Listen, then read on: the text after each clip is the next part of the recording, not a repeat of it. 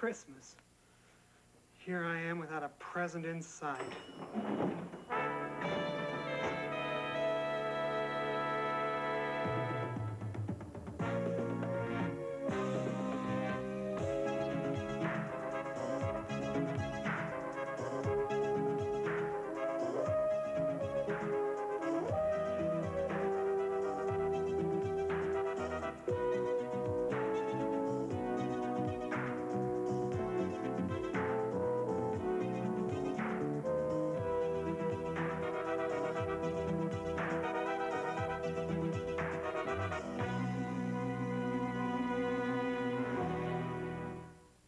Edge of Night is brought to you by... No, I'm definitely not the ghost of Jacob Marley.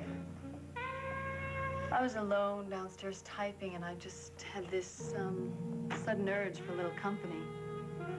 Is that your usual typing outfit? Depends.